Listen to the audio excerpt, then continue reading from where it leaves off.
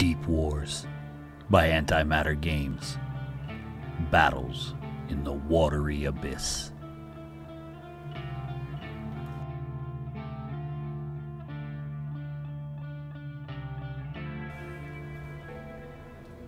The Fortune Hunters. Whispers of the legendary lost realm beneath ice and snow has tempted many grizzled adventurer, devious brigand, and adventurous scientist among the kingdoms of the old world. Many of these seekers of golden treasures answered the call on dark and misty docks, unprepared for the dangers they would be asked to face. Only a few of the bravest or most foolhardy joined the expedition to the underground Shadow Sea, combining their skills and experimental dive equipment to make up a ragged yet dangerous force. Fortune hunters come from many different countries, often hired as mercenaries with backgrounds as veterans of wars or scientific expeditions. Some bring their own equipment, specially designed for underwater exploration, or salvaged from previous treks through the underlands, while others are simply soldiers trained in the use of the new armored diving gear created by Dr. Wormwood in his dark and mysterious laboratory. The main expedition has been funded by wealthy nobles and shadowy forces at the highest levels of the kingdoms of the old world. A recent discovery of the deadly draconid creatures of the underlands, spreading across the southern continents of the New World, has forced these kingdoms to put aside their petty squabbles and work together to recover the powerful ether technology artifacts sitting on the cold sea floor of the underground ocean. The teamwork of many of the most esteemed scientists of the age within Wormwood's lab has made this goal a possibility. How the salvaged treasures of the deep are shared amongst the jealous, backstabbing kings will be of concern later. The fortune hunters have a variety of different troop types, but they all share a need to wear heavy dive suits of thick, oiled leather or bronze, pressurized so that they can survive under the crushing weight of hundreds of feet of water. Their helmets are designed to resist the water pressure, but still give some level of visibility through multiple viewing windows of solid crystal. The helmets restrict visibility, though, and the armored suits are clumsy and slow to turn, but they keep the divers alive in the deadly world at the bottom of the sea.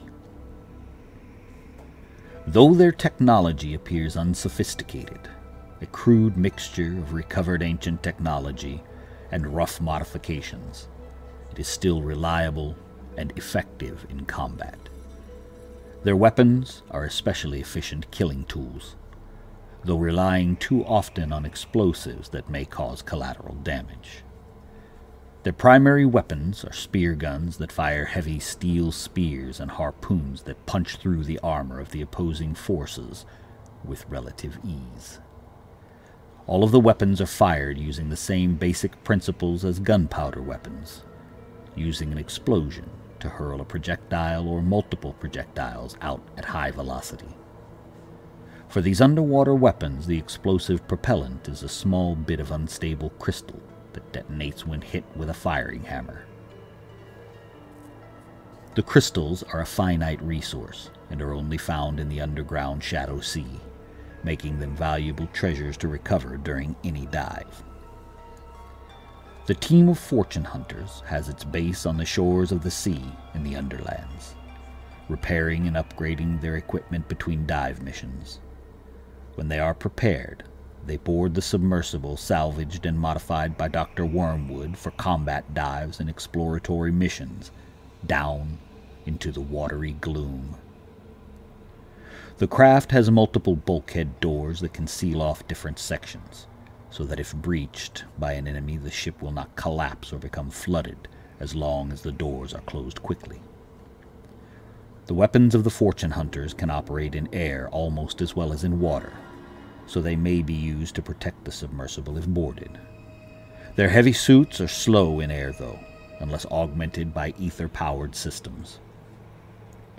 Upon reaching the sea floor, the team exits from a waterlock, a pressurized room on the bottom of the craft, and makes its way out to search for ancient treasures, carrying glowing lamps with crystal lights, well armed and armored.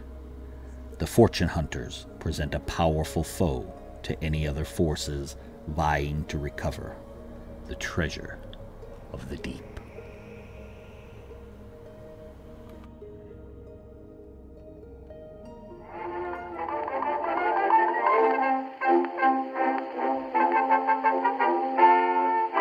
Thanks, guys, for listening to today's tales.